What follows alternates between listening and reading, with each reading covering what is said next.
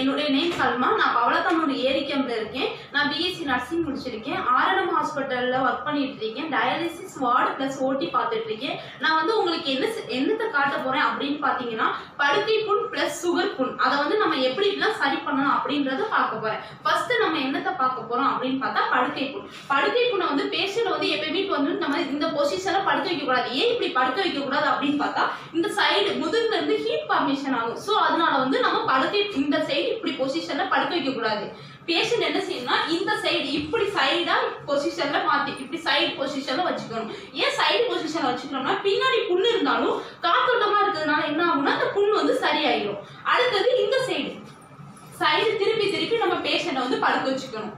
படுக்க வச்சுட்டு நெக்ஸ்ட் வந்து இடையில ஒரு பில்லோ வைக்கணும். இடையில இப்படி காலுக்கு இடையில பில்லோ ஒண்ணு வைக்கணும். ஏன் இந்த பில்லோ வைக்கணும் அப்படின்னு கேட்டீங்கன்னா இந்த தொடைக்கு நடுவுல இருக்க புண்ணை வந்து இது வந்து ப்ரிவென்ட் பண்ணும். மீன்ஸ் இந்த புண்ணை வந்து கியூர் பண்ணும். புண்ணு வராம நமக்கு தடுத்துக்கும். ஓகேவா அது இதுதான் படுக்கை புண்ணை பத்தி கியூர் பண்றது. நெக்ஸ்ட் வந்து சுகர் நம்ம வயசா நம்ம வீட்டுல வந்து நிறைய பேர் வயசானவங்க இருக்காங்க. அவங்களுக்கு வந்து சுகர் வராம இருக்க நம்ம என்னென்னலாம் பண்ணலாம்? இல்ல சுகர் இருக்கவங்க எப்படி மானிட்டர் பண்ணும் அப்படின்றத வந்து பார்க்க போறோம். ஃபர்ஸ்ட் வந்து நம்ம என்னத்தை பார்க்க போறோம் அப்படின்னா இது பேர் குளுக்கோமீட்டர் பிளஸ் ஸ்டிப்பு இதுல வந்து நம்ம சுகர் செக் பண்ணிக்கலாம் இதுல வந்து நம்ம பார்த்தோம்னா பிளட் இருந்துச்சுன்னா இதுல சுகர் செக் பண்ணிக்கலாம் normal சுகருடைய value eighty to one twenty mg dl ஓகேவா இதுல வந்து நம்ம சுகர் செக் பண்ணிக்கலாம்.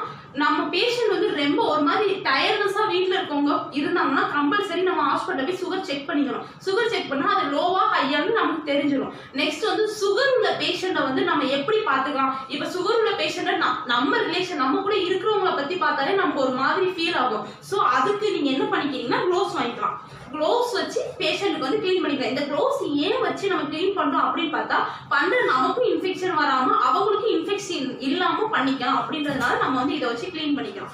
ப்ளஸ் நெக்ஸ்ட் வந்து இது பேர் வந்து காஸ் பீஸ்ன்னு சொல்லுவாங்க. இல்லாட்டி காட்டன் வச்சு நம்ம வந்து புண்ணு இருக்க இடத்த எப்படி க்ளீன் பண்ணணும் அப்படின்னு நான் சொல்றேன். ஃபர்ஸ்ட் இதோடைய பேர் சொல்றேன். இது பேர் வந்து பீட்டரின் ஆயில்மெண்ட் ஆயில்மெண்ட்டாகவும் யூஸ் பண்ணிக்கலாம் இது பேர் சொல்யூஷன் ஆயில்மெண்ட்டும் நம்ம யூஸ் பண்ணிக்கலாம் இதை என்ன செய்யணும்னா புண்ணு இருக்க இடத்த ஃபர்ஸ்ட் வந்து நம்ம ஃபுல்லா க்ளீன் பண்ணிடணும் இந்த ஆயில்மெண்ட் வச்சு ஃபுல்லா க்ளீன் பண்ணிட்டு அடுத்து ஃபுல்லா வெட் ஆக்கிடணும் வெட்ட காஞ்ச் வெட் மீன்ஸ் காஞ்சதுக்கு அப்புறமேட்டு இந்த ஆயில்மெண்ட் போட்டு பேஷண்ட்டுக்கு போட்டுறணும். கைக்கு க்ளோவ்ஸ் போட்டு தான் போடணும். ஏன் அப்படி போடுறோம் அப்படின்னு கேட்டால் நமக்கும் இன்ஃபெக்ஷன் ஆகாது பேஷண்ட்டுக்கு இன்ஃபெக்ஷன் ஆகாது. இந்த மாதிரி உள்ள சுகர் பேஷண்ட் எல்லாம் வந்து நம்ம எப்படி கையாளணும் அப்படின்னு கேட்டால் அவங்களுக்கு நிலத்துக்கு அடியில உள்ள காய்கறிகள் கிழங்கு அந்த மரவள்ளிக்கிழங்கு அதெல்லாம் வந்து நம்ம எதுவும் கொடுக்க கூடாது. கொடுத்தா சுகர் வந்து அதிகமாயிரும். அதனால அது எதுவுமே நம்ம கொடுக்க கூடாது. சப்பாத்தி அதெல்லாம் கொடுத்தா வந்து சுகருடைய லெவலை வந்து கண்ட்ரோலா வச்சுக்கணும். நம்ம அடிக்கடி சுகர் இருக்கா இல்லையா அப்படின்றத வந்து நம்ம போய் கவர்மெண்ட் ஹாஸ்பிட்டல்ல செக் பண்ணிக்கலாம். கவர்மெண்ட் ஹாஸ்பிட்டலில் ஃப்ரீயா தான் செக் பண்ணிக்கிறாங்க. நம்ம போய் செக் பண்ணிக்கலாம். அதே மாதிரி இந்த கோடை காலத்தினால நம்ம வந்து எப்பவுமே அந்த சுகர் உள்ள பேஷண்ட்டையும் சரி புண்ணுள்ள பேஷண்ட்டையும் சரி நம்ம வந்து கேர்ஃபுல்லா தான் ஹேண்டில் பண்ணணும். ஏன் அப்படின்னா அதனால வந்து இன்ஃபெக்ஷன் வந்து அதிகமாகும். ஸ்மெல்லும் அதிகமாகும். அதனால வீட்டில் உள்ள சின்ன பிள்ளைங்களுக்கும் நிறைய பாதிப்பாகும். சோ அதனால பே- முடிஞ்ச வரைக்கும் அந்த சின்ன பிள்ளைங்க கிட்ட இருந்து அந்த பேஷண்ட்டை தள்ளி வைக்கிறது நல்லது. கிளீனா ஸ்டெரைலா பண்றது ரொம்ப ரொம்ப இம்பார்ட்டன்டான ஒண்ணு. புண்ணு இருக்க இடத்த மோஸ்டாவே நீங்க க்ளவுஸ் போட்டு யூஸ் பண்ணிக்கோங்க. ஏன் அப்படி யூஸ் பண்ணோம்னா உங்களுக்கும் அந்த ஸ்மெல் வராது நமக்கும் வராம இருக்கலாம். அப்படின்றதுனால நான் அந்த க்ளவுஸ் வச்சு யூஸ் பண்ணணும் அப்படின்னு சொல்றேன். நெக்ஸ்ட் வந்து என்ன பார்க்க போறோம் அப்படின்னா இப்ப ஹைப்பர் டென்ஷன் மீன்ஸ் பிபி அதிகமா உள்ளவங்களுக்கு என்ன ஃபர்ஸ்ட் நமக்கு தெரியும் அப்படின்னு கேட்டா லோ பிபி இருந்தாலும் சரி ஹை பிபி இருந்தாலும் சரி நமக்கு தலை சுத்துற மாதிரி இருக்கும். அப்ப போய் நம்ம போய் உடனே செக் பண்ணணும். கவர்மெண்ட் ஹாஸ்பிட்டல்ல நம்ம செக் பண்ணிக்கலாம். பிரைவேட்ல தான் போகணும் ஈஸியாக ஈஸியா நம்ம செக் பண்ணிக்கலாம் செக் பண்ணிட்டு சுகர் பிபி எல்லாத்தையும் பார்க்கணும். சுகர் வர்றதுனால வந்து நமக்கு சுகர் வந்துச்சுனாலே மோஸ்டா நமக்கு கிட்னி வந்து டேமேஜ் ஆயிடும் சோ அதனால சுகரை வந்து கண்ட்ரோலா வச்சிருக்கிறது முடிஞ்ச வரைக்கும் பார்த்துக்கணும். அடுத்தது வீட்டில் உள்ள பெரியவங்க புண்ணு பல நாள் கழிச்சு ஆடலாம் ஆடலன்னு சொன்னாலும் அதை வந்து நம்ம ஒரு கேஷுவலா விடக்கூடாது. ஏன் அப்படி கேஷுவலா விடக்கூடாது அப்படின்னு பார்த்தா அவங்களுக்கு சுகர் இருக்கிறதுனால தான் புண்ணு வந்து அதிகமாகும். ஸோ அதனால சுகர் வந்து நம்ம போய் செக் பண்றது நல்லது. பெரியவங்க தான் செக் பண்ணணும் அப்படின்னு இல்லை. தேர்ட்டி ஃபோர் இயர்ஸ்க்கு மேல இருக்க யாராக இருந்தாலும் சுகர் கம்பல்சரி செக் பண்ணி ஆகணும். ஏன்னா சுகருடைய காம்ப்ளிகேஷன் ரொம்ப ரொம்ப அதிகம். ஒரு இடத்துல புண்ணு வந்துச்சுன்னா அந்த புண்ணை வந்து சும்மா கழுவி நம்ம வீட்டு பக்கத்துல ஒரு டிச்சிலு அதுல இதுலயே எதுலயுமே ஊத்தக்கூடாது. ஏன் வந்து இன்ஃபெக்ஷன் வந்து இன்னும் அதிகமாகும். ஸோ அதனால தனியா அது கழுவுறதுக்கு தனியா Dettol plus hot water Dettol plus சுடுதண்ணி வச்சு க்ளீன் பண்ணதுக்கு அப்புறமேட்டு இந்த ப்ரோவைட் அயோடின் இந்த வீட்டரின் ஆயில்மெண்ட் இருக்கும். அது நம்ம ஒவ்வொருலையும் தருவாங்க. நம்ம ஒஃபர்ல வேலை செய்யறவங்க கேட்டாலும் அவங்க வந்து தருவாங்க. அதுல வாங்கி நம்ம யூஸ் பண்ணிக்கலாம். இந்த காசு காட்டன் பீஸ் அது என்ன பஞ்சு எல்லாமே வந்து நம்ம ஒவ்வொரு நமக்கு ஃப்ரீயாவே கொடுக்குது. அதுக்கிட்ட இருந்து நம்ம வாங்கிக்கலாம். தேங்க்யூ வரக்குள்ள ரொம்ப சுகர் வந்து எவ்வளவு இருந்துச்சுன்னா இவங்களுக்கு வந்து high sugar five twenty six twenty அப்படின்னா அறுநூத்தி இருபது எழுநூத்தி இருபது இருந்துச்சு. அதனால நாங்க என்ன பண்ணோம்னா ஹியூமன் அட்ரா அப்படின்னு இன்ஜெக்ஷன் இருந்துச்சு. அது வந்து இன்ஃபியூஷனா போட்டோம். ஃபோர் எம்எல் எயிட் எம்எல் போட்டு இவங்களை வந்து இது பண்ணியாச்சு. இப்போ இவங்களுடைய sugar value one twenty six நூத்தி இருபத்தி ஆறு அப்படிதான் இருக்குது. ஸோ அதனால இது மாதிரி விளைவுகள்லாம் வராம இருக்கிறதுக்கு நம்ம என்ன பண்ணணும்னா டயட் கண்ட்ரோல் எல்லாத்தையும் வந்து நம்ம மெயின்டைன் பண்ணணும். சுகர் இதெல்லாம் சாப்பிட்டா சுகர் வந்து சுகர் தானே? இப்போ சொல்லுவாங்க அதிகமா ஜிலேபி சாப்பிடாதீங்க. இப்போ வீட்டில் உள்ள பெரியவங்க எக்ஸாம்பிள் இப்போ நம் நாங்களே இப்போ வீட்டில் இருக்கவங்க யார்கிட்ட இப்போ வயசானவங்க இப்போ வந்து சொல்லுவோம் நீங்க வந்து சுகர் இது அதிகமா ஜிலேபி சாப்பிடாதீங்க. அது சாப்பிடாதீங்க இது சாப்பிடாதீங்க சொன்னா அவங்க சொல்லுவாங்க சுகர் தானே வந்தா வரட்டும் நான் செத்தா சாப்பிடுறேன் அப்படி சொல்லுவாங்க.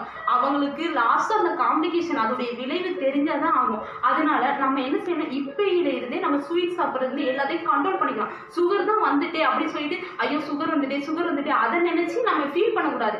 அதுல இருந்து நம்ம எப்படி வெளியாகணும்? அப்படின்றத தான் பார்க்கணும். சுகர் வந்துச்சுன்னா அது கூட ட்ரீட்மெண்ட் பண்ணலாம். ட்ரீட்மெண்ட் பண்ணா கண்டிப்பா நம்ம வந்து அதை வந்து ஃபுல்லா கியூர் பண்ண முடியாது. மெயின்டெனன்ஸா வச்சுக்கலாம். சுகர் வச்சு மெயின்டெனன்ஸா வச்சுக்கலாம்.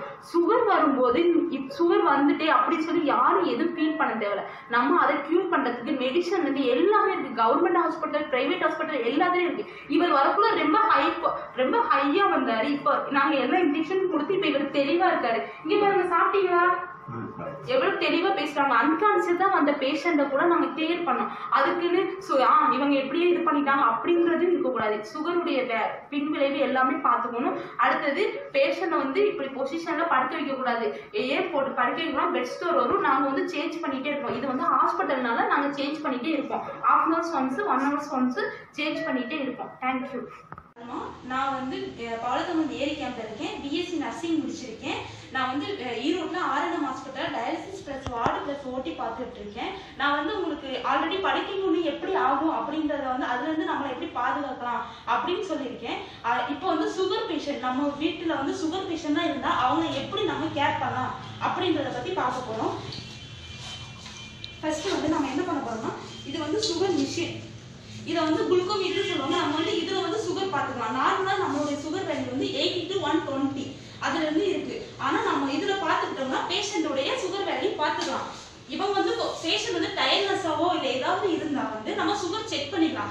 சுகர் நம்ம செக் நம்ம கிட்ட இல்லாத பட்சத்துல ஹாஸ்பிட்டல போய் நம்ம செக் பண்ணிக்கலாம். ஓகேவா அடுத்தது நம்ம பெட் ஸ்டோர்ல வந்து புண்ணெல்லாம் வந்துச்சுன்னா எப்படியெல்லாம் அதை வந்து ப்ரிவென்ட் பண்ணலாம் அப்படின்னு பார்த்தா இது பேரு ப்ரொவைட் அயோடின் ஆயில்மெண்ட். இந்த ஆயில்மெண்ட் என்ன பண்ணலாம்னா பேஷண்ட்டுக்கு வந்து அப்ளை பண்ணலாம். இதனால என்ன ஆகும்னா புண்ணெல்லாம் சரியாயிடும் மெயினாக வந்து சுகர் பேஷண்ட் வந்து என்ன செய்யணும்னா சு அதிகமாக நிலத்துக்கடியில் விளையிற காய்கறிகள் சுகர் அது இதுன்னு அதிகமாக எடுத்துக்க கூடாது. ஏன் அப்படி எடுத்துக்க கூடாது அப்படின்னு கேட்டால் சுகர் வந்து அவங்களுக்கு இன்க்ரீஸ் ஆகும். ஸோ அதனால நம்ம எடுத்துக்க கூடாது. ஓகேவா அதே மாதிரி படுத்த படுக்கையாக இருக்க பேஷண்ட்டுக்கு புண்ணை வந்து எப்படி க்ளீன் பண்ணணும் அப்படின்னா ஃபர்ஸ்ட்டு வந்து நம்ம ஃபுல்லாக அவங்கள வாஷ் பண்ணணும். எதுல வாஷ் பண்ணணும்? டெட்டால் போட்டு வாஷ் பண்ணணும். டெட்டால் போட்டு வாஷ் பண்ணதுக்கு அப்புறமேட்டு எங்கெங்க புண்ணு இருக்கு அப்படின்னு பார்க்கணும் பார்த்து அந்த புண்ணு இருக்க இடத்துல இந்த ஆயில்மெண்ட் வச்சு அப்ளை பண்ணணும்.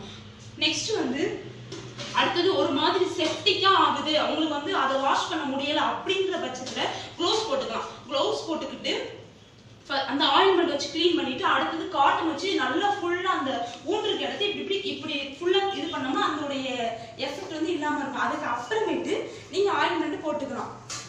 அன்னைக்கு சொன்ன மாதிரி தான் பேஷண்ட்டை வந்து நம்ம எப்பயுமே பேஷண்டாக பார்க்கக்கூடாது. வெளியே இருக்க ஒரு நம்மளுடைய ரிலேஷன் அப்படின்னு சொல்லிட்டு தான் பார்க்கணும். நமக்கு செப்டிக் ஆகாமல் இருக்கிறதுக்கு கம்பல்சரி க்ளோவ்ஸ் அண்ட் மாஸ்க் போட்டு தான் ஆகணும்.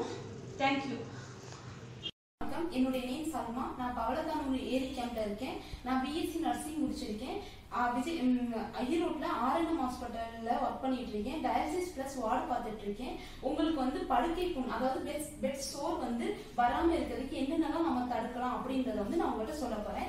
இது பேரு ஆல்பா பெட் இது என்ன பண்ணும்னா இது அதோடைய மோட்டர் இது வந்து என்ன பண்ணும்னா இதுல இருந்து ஃபார்மேஷன் ஆகும். அந்த வேவ் வேவ்ஸ் வந்து ஒரு மசாஜ் பண்ற மாதிரி இருக்கும். இது பண்ணோம்னா அந்த படுக்கை புண்ணை வந்து சரி பண்ணலாம்.